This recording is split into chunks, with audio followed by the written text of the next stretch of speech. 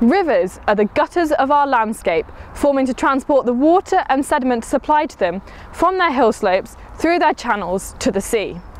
The interaction of water and sediment is a fundamental part of river systems, with it influencing channel shape, what sediments are found on the riverbed, and also habitat quality.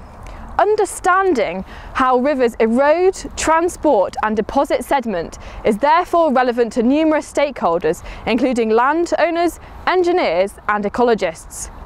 My research focuses on addressing the issues surrounding predicting the point at which a particle enters motion.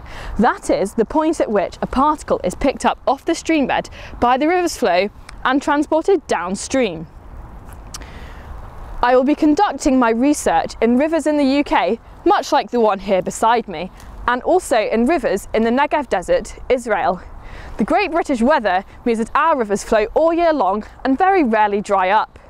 In contrast, rivers in the Negev Desert are dry for the majority of the year, flowing only four or five times each winter and for a few hours each time. Fieldwork in these two environments will allow me to collect a diverse data set which will help me predict the forces which are required to pick a particle up off the streambed based on its size, shape and position I will use models which will help me understand the type of flows that will be required to move different sized particles. For example, something this size versus something this size.